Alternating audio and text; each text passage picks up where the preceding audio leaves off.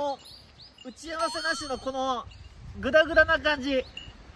明けましておめでとうございます。おめでとうございます。今年もどうぞよろしくお願いいたします。お願いします。おそらくこの動画の前に家族動画があってそこで挨拶はしてると思いますけども。は？家族動画？家族動画？家族動画？でも相方ゼッケンさんとは久しぶり。2024年一発目の山登りですでここはどこでしょうか？はい。こちらでございますが本日来ている山は、えーまた京都北山深くに来てございます、えー本日登る山は片波山、えー別名湯船山と呼ばれる 770m ぐらいのお山でございます。寒い！寒い！マイナス2寒い度！寒い！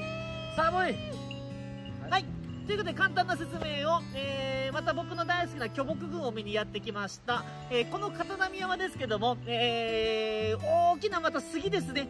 杉なんですけどもあの副上大杉と呼ばれまして、あの成長してですねこう奇形で変形していっぱい幹が出て、まあ、とりあえずぶっといんですよ。寒い。ぶっとい。杉山をちょっとあの登り行くんですけども、出だしがね、はい。奥がね道なんですけどめちゃくちゃ。ここから分からへん。もう後でもう見せもうまあ後で見て。まあそこねしんどいもう俺道なんですけど帰るんで。もう帰るんで。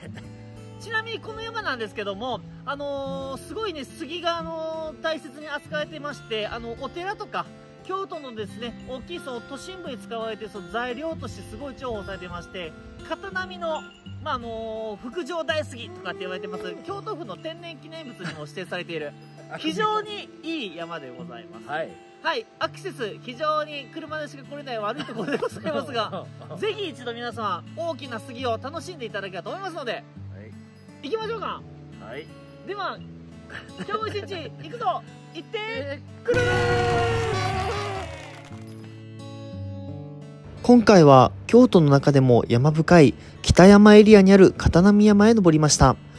片波山は人里から離れ、熊などの注意が必要な山ですが、片波の福上大杉と呼ばれる巨大な杉の群落があり有名で、谷や急登を越えなければならないコースですが、京都とは思えない、とても素晴らしい景色を見ることができる山です。一部ルートが不鮮明な箇所もあるので、ナビや事前調べをした上で、ぜひ直接見に行く価値のある素敵な山でした。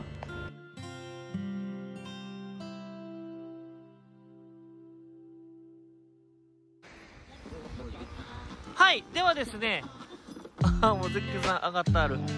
えっとこの片波山えっとアクセスはもう車かな？バスはしんどいと思いますけど。えっとちょっと脇に1台2台3台ぐらい止められるところがあります。またあの詳しくはあのヤマップからですねえっと見ていただければと思います。で片波山他のですね、えっと、登山者様の情報も聞いてると、あの、取り付きのね、入り口が非常に分かりづらいということで、あの、まあ、いきなりもう激キュートなんですね。映像で見るよりも、直で見たらもっとキュートになるんですけども、とりあえず一旦尾根の方に上がります。多分ね、もう、上がれそうですか？今、ゼッケンさん上にいるんですけども、ここガーッとまあ非常にあマーキングはついてるんですけども、ここからとりあえず登ってみますね。はい、ぐーんといきなり行きます。えー、登り出しからいきなりです。見えるかな、ゼッケンさん上に。えー、非常にキュートな山をガーッと登っていきます。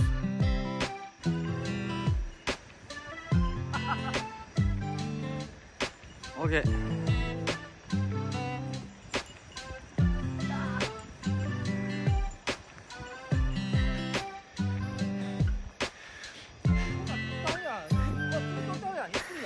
手ついてる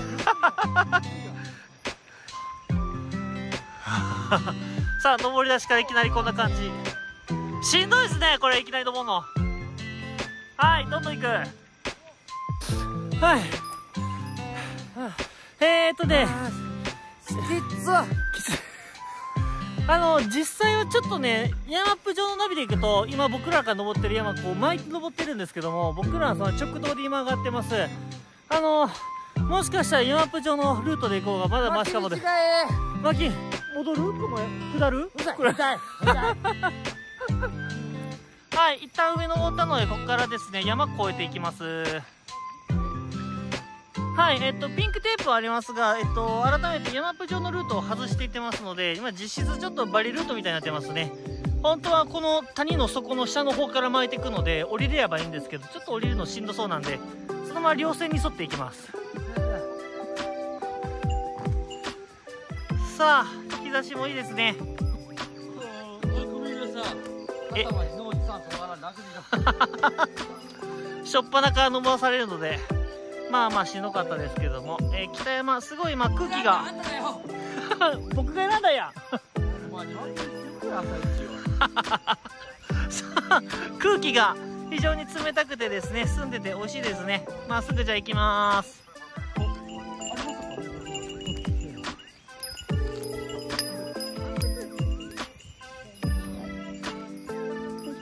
はいだけさんもうね嘘つきや。これ違う方行く こう行く予定がこうなっていって全く違う山行くよ。それもあのグレーピークでもない700何メートル山。えー、だからあかんんねん佐古さんのこと聞いたらね皆さん気をつけてね。佐古さん、えーこのまま進んでいくとですね、えっと、無名の756メートルの山の方に別の目に登ってましたので、えー谷を降りてきますのでよりバリルートになりますがまあちょっと楽しんでいこうか。な脳に酸素回らなくなるわ さあ今からちょっと無理やったらね一旦戻りますけどもね。一回ちょっと道調べて降りてみます。京都山歩き佐子さん早速道を間違えてですねいきなりバリを歩いてますが。さあ一人で今日ソロでここ行ったらどういう選択肢を取っていたか。もっと地獄にもっと地獄いてるかな。えー、この谷を降りて向こう側からですね、えー改めて山っぷ上のルートに迂回して回っていこうと思います。これ間違ったこんな急登降ろされてるっていうのを証拠として残しとくわ。皆さん佐古さんね言ってるけどね横向いたらねこれ分かるかな？この急登。よう分かるでしょ？横にしたらわざわざ登ってわざわざ全く同じだけ降りてると。はい京都迷い歩き佐古さんやな。ではですね、えー、無事隣の山を降りてきました。ということで、関さん、今日の山はどうでしたか？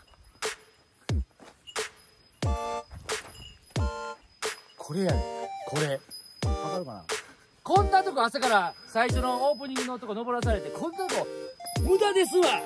無駄ですわこんなんでは、関さん、また次の山でまたお会いしましょう。ほんまもう帰るし待っとくわ車でありがとうございます。バイバイバお疲れ様おもんないカ野郎はい、じゃあ、林道出ました。えー、正しくはですね、さっきの、えっと、登山口からここまで、多分ちゃんと林道探したらもう5分もかかりませんね。じゃあ、このまま行きまーす。綺麗な沢が流れてますね。ああ、太陽が眩しい。はい、しばらく沢に沿って、えー改めて林道から上がっていきます。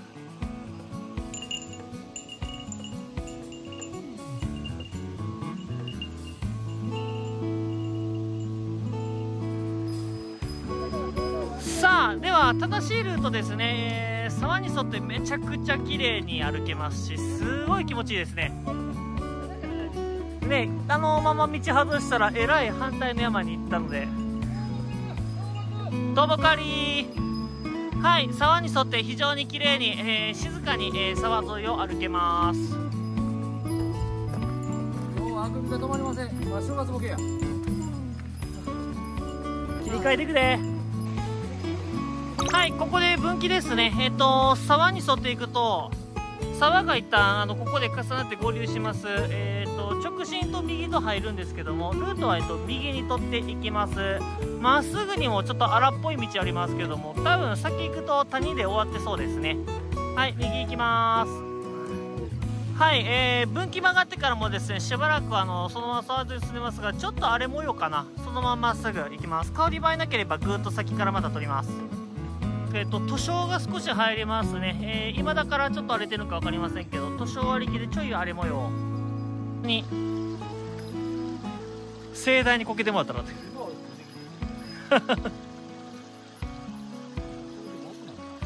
はい続いても、えっと、分かりやすく二股に分かれています。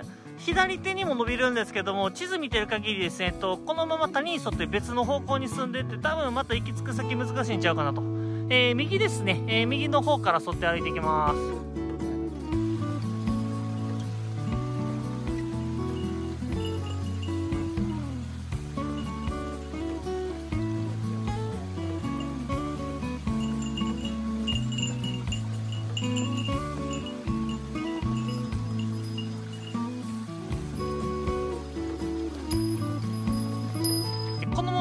谷沿いに進むとこれルートから外れるんですけども林道があるんですよね。ナビな、えー、鍋谷峠の林道があってそこにも出そうなんですけどもどうやらあこれ白になりますね。プレートやと思うんですけどこのまた1個の山をガーッと登っていくのがナビ上のルートっぽい。さあどっち行くかって悩み中。えっ、ー、と谷に進んでいくもいけるかもって言ったんですけども倒木きつそうなのでやっぱりしんどそうです。でえー、つづらで踏み跡はあります。やっぱりここ続いてますね。ここから登っていきます。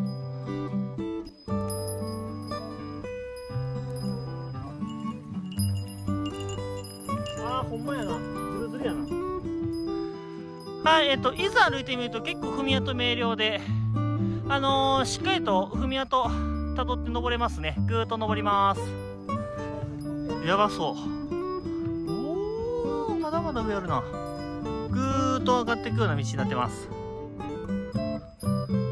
はいであの山の中抜けてきましたらえーとそこが鍋谷峠が見えてきましたね。あそこ一旦綺麗な林道になると思うのでそこまで行きます。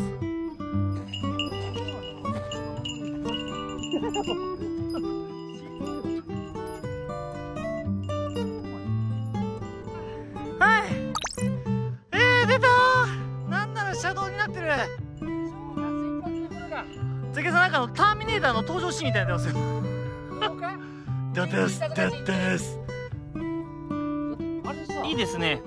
ロープウェイのやつもあんなんやろうねあの鉄塔みたいな。もともとロープやったから。それかロープ張ってないもんね。合ってないこの北山の山々がずーっとここ見渡せて風も吹いてすごい気持ちよく休憩できますあの左のポコってねあれ両線しか道こうこうなってるやん V はいはいはいあそこ多分右手のポコッとしたとこが確か大飛山やと思います。で、そのまま左の稜線進んでって、真ん中挟んでもう一個っていうのが多分桑谷山っていう山があって、また今度取りに行こうと思ってるんですけども。あそこやったら奥の平山家の方見えんじゃんあ、見えそうですね。奥さらに越えたらね。で言ったら峰とことかそれこそさ水子とかさほやら、まだいっぱい行かんだかん。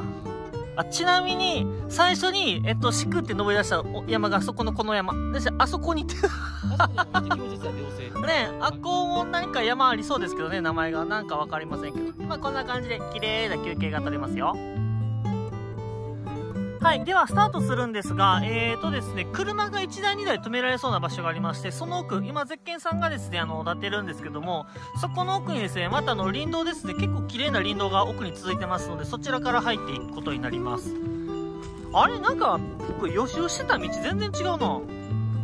めっちゃ綺麗に続きますよ、そこ。まあいいんですけど、ずーっとあそこ進んでいきますね。はい、えーと、先ほど進んでる林道、これもね、コース外してますね。山がこっちなんですよ。に対してずーっと地図見てるとね、あの巻いてってこれ多分、ちゃうとこ行くんですが、ここか。僕が調べてる情報、どっかからもう直通しましたっていうのは多分この辺ですね。あ、ここから登りましょうか。ただ出てきましたね。ここ、切れ目からですね、いきなりゴツゴツめちゃくちゃぶっとい木がいっぱい見えるんで、楽しみですね。ちょっと見に行ってみましょう。でっかやっぱこのすぎ。う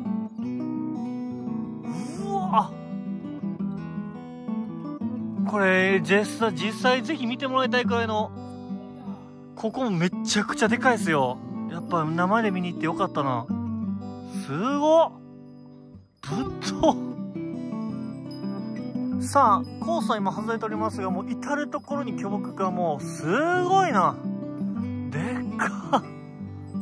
うわ、大きいな。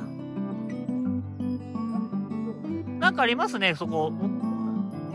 あ、やっぱ登ったんや、ここから。はい、えー、っと、林道、えー、ずっと来てですね、僕らはあの、ちょっとこう、崖がバーっと崩れてるところあるんですけども、斜面崩れて、そこにですね、ちょっと取り付きやすいところがあったので、そこから稜線の方まで上がっていきます。はい。ちょっと気をつけて皆さん各自安全に登ってください。うわーえらいところから、稜線まで近いんですけどね、結構ガーッと登ってますね。あの、皆さんも気をつけて、いいところを取り付け選んでください。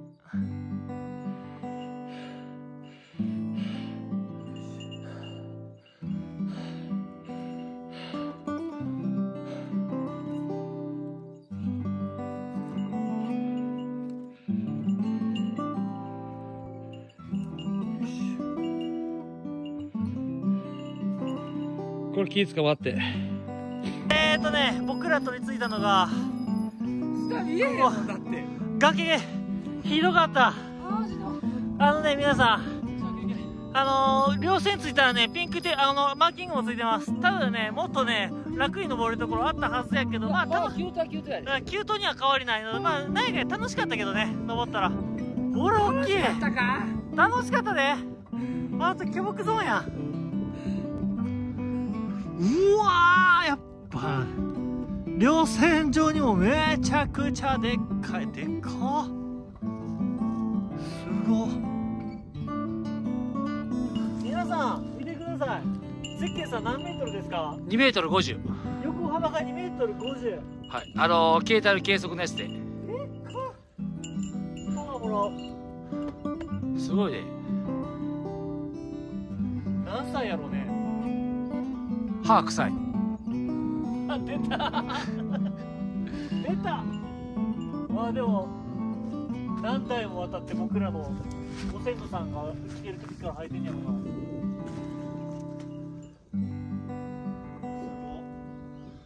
ずっと変わらずいるんですよこれが。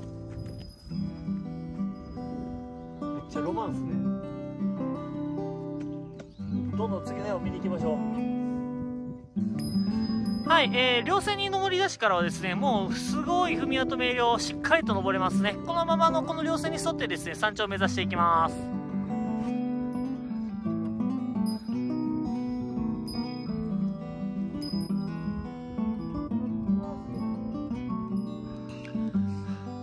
はい、等間隔で、でっか、しんどいな。じゃあさっきだいぶ削られてるわ大丈夫すごっあアクセスちょっと大変ですけどぜひぜひ皆さん本当におすすめですよ。これはすごい大きな山だ。大きな山大きな木だ。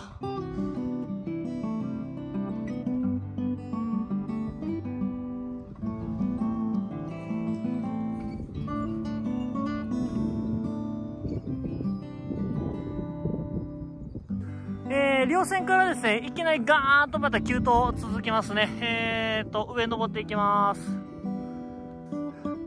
えー、今のところ急登続いてますが、えー、マーキングと、えー、道は結構明確に伸びてます。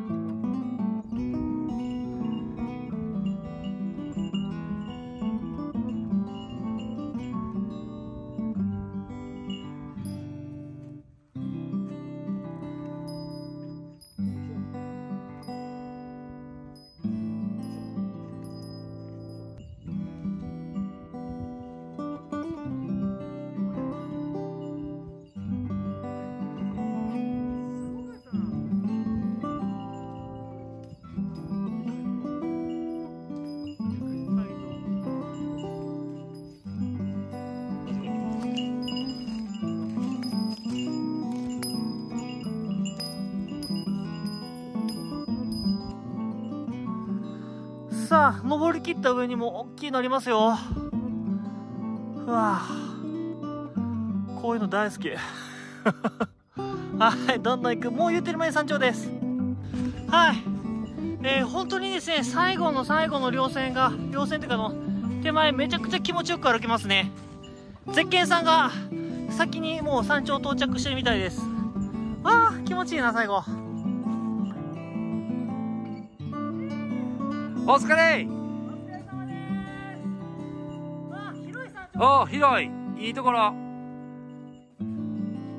おーそこだけはい押さえてそのまま撮るはい佐古さんがタッチはい寄るよはいまた後で一緒に写真撮るねはい。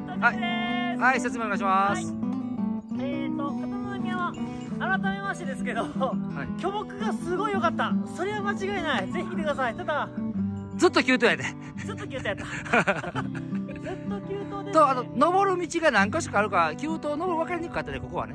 うん。うん。取り付きがちょっと分かりづらいですけども、あの、えっ、とね、初めて来る方の山ではないかなという感想ですね。ちょっとね、あの道が分かりづらいとやっぱり奥深いところがあるので、そこだけ注意点ですが、本当に良かったね。よかったよかった。すっごい巨木見えますので。で、もこっちの当たりやねやっぱりね。ね、副上。やったら急登やけど最初の話では「関さん距離が短いからすぐですよ」って3時間ですねここまで いやでもまあ安全だねマージン取っていろんな道探して登ってきたからかかるよねということです。はいなんせ、到着です。はーいえーちなみに、えー山頂には景色はないですね。雪ちょっと残ってる広い。ひああ、あそこっぽい。ずーっとね、えっ、ー、と、何やったっけ、あそこ。行者山。行者山。えー、広いので山頂まで来て、ここで、えー、お昼撮ってもいいと思うし、あの途中の林道の鍋谷峠で撮ってもいいかもしれませんし、まあ、なんせの休憩ポイントはここからそこくらいだとずっと急登続きでしたね。今、えー、山頂でちょっとお昼を取りまして、まあ、いつもでしたら、あの、今日はピストンコースまでここでね、本当はあの、閉めるんですけども、あのー、さっきのね、あの、鍋谷峠から僕らちょっとまだ違うとこから直通してるんで、ちょっと次は尾根を渡りながら、巨木を取って、えー、鍋谷峠の辺でちょっと切ろうかと思いますので、じゃあこの後、お聞きやったら、引き続きちょっと見てきますね。じゃあ、ゲさん。ゲさんも気をつけていきましょうね。わし水筒直しとうねへいじゃあ、気をつけていきます。はい。まあ、急登なので当然、檻も急登ですね。えー、まあまあ、もう上りでコース取ってるので、えっと、帰りは取りませんけど、まあ、急ですよっていう報告。ね、皆さん、映像と伝わらんすけど、めっちゃ急ですからね。これ横から撮るわあーこれの方がいいかなきついねこれうんそうしなあかんねでもこういうところですよ、降りてうん、うん、それがでも正解やね折り方はい、えー、ちなみにですが、えっと、帰りはですね、えっと、尾根からずーっと降りてますが、非常に歩きやすいですね。行きの急登は何だったかというぐらいの。で、えー、やはりありますね。あー、すごい、3本杉。えー、1本からドーンと生えてますね。さあ、引き続きどんどん行きますよ。まあ、もうちょっとで締めますけども、えー、帰りはやっぱり尾根伝いから。だから、行きもやっぱり尾根伝いから、どっから入ったんやろな。どっから登れたんやろ。見逃してるだけですね。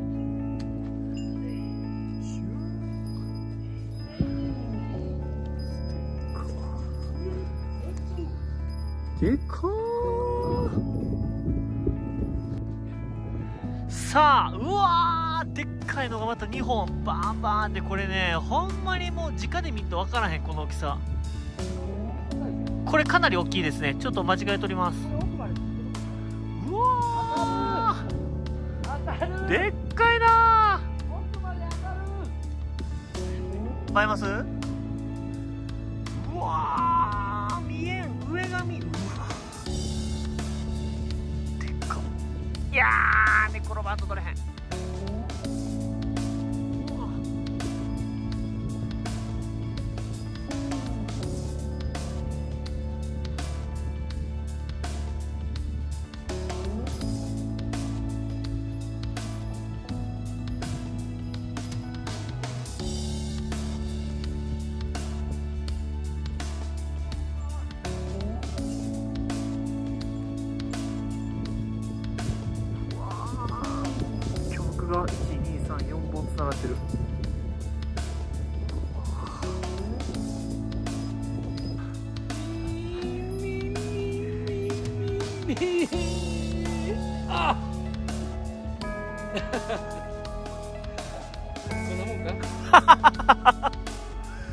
ごいでしょ？大きな木。すごいわ。はいでは鍋谷峠に戻ってきました。僕たちは最初そこの斜面から上がってきてそこの林道から入ったんですね。入ったがゆえに取り付けを逃してしまって直通して、えっと、まあえらい目にあったんですがそこの林道をパスしてちょっと進んでくるとですねありましたね。踏み跡薄いんですけどここからスーッと、えーそれこそさっきのこの尾根のですね付け根の方に飛び出て、えーじゃあ、えーつけますリボンもついてましたただ、えー全然マシでしたけどもこっちも出だしは、えーかなり急登だったのでいずれにしてもですねあのーまあちょっと登り出しここきつかったなっていう感想はですねまあ、それでもこっちからぜひ行ってください。えっと、尾根にまだ近いので、登り出してしまったら、あとはあの巨木を順々に見ることができますので、お願いします。はい。では、締めましょうかね。はい。お疲れ様。お疲れ山 じゃあまたね。またね。早いわ早いわ。はい。まあでもお疲れ様でした。久々の山楽しかったですね。しんどいわ。ちょっと。何が距離がちょっとやからすぐ終わりますよ。そうばっかりやもんはい。本当に急登続きの。まあまあ。でも面白い山でしたよ。トレーニングトレーニング。がなりましたね。えっ、ー、と何山やったっけ？片波山ですね。ここは今どこよ？何峠？ここは鍋谷峠。何峠。うん、ここまで正直車でね来れるんですけどね。どれ？まあ、まあスタートから距離ちょっと歩きたいんやったら僕からのとこからぜひ歩いてください、えっと本当にですね、えっと、最後後半にかけての巨木群ですねって言っていいと思うあの本当に大きな立派な木がいっぱいありましたのではい太かった。ほんまに太かった。あのぜひぜひ何度も僕も動画で上げてますけどあの言ってますけどすごいすごい言ってますけどほんまに自然と声が出るくらい素敵な声がねほんま太すぎるとかね。本当に 絶景そんなの入らないとかね。あはい。言ってへん。はい、ゼッケンさんからもお久々のご参加ですので、えーうん。相方さんどうぞコメントを。えもうおちゃらけないです。元気ないです。そうそう もうこのねあの今年からまたあのーもうちょっとでこれ終わるけど金髪、ん。正月限定なんで今日何日 ?5 日いつはい。またあの遊べます。はい、はい。ということで久々にね佐古さんといつぶりだ？登った。ちゃんと登ったんは、最後どこやったの？亀岡ちゃう？ほんまに。亀岡？うん、行者山。なんかようわからんハロウィンのやつやね。あー、そうそうそうそうそうそう。あれ以来ね。あれだよね。よかったですね。またでもこうやって北山に歩けたらと思うんで。まあ北山でこれ亀岡亀岡、あと天国もね。はい。はい。今明かりが眩しいの。眩しいの。色はい。えっ、と、実際登山口はまだ途中なんですけども、もうここに来てあとはもう、両手しっかり使ってしっかり帰ろうと思いますので。両手しっかり使って。両手で怖い。何をや。何をやってとこはもう一度はい、切りますよ。はい。はい、ということで、えっ、ー、と、片波山でした。えー、ぜひぜひ機会がある方、登ってみてください。はい、ではまた次のまでお会いしましょう。ありがとうございます。バイバイ。またねバイバイ